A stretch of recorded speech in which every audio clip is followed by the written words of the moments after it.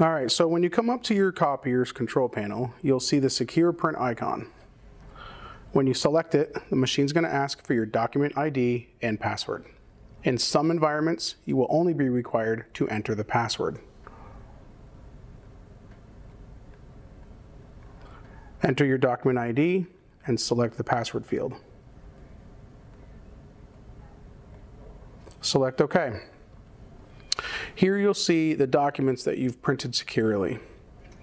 You can select one document and select print, and here are your print options.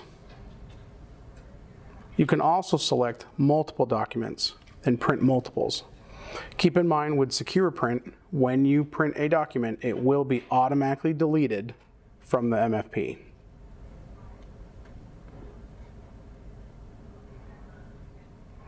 Once your documents are selected and you select print, it brings you to this screen where you can just hit the blue start button.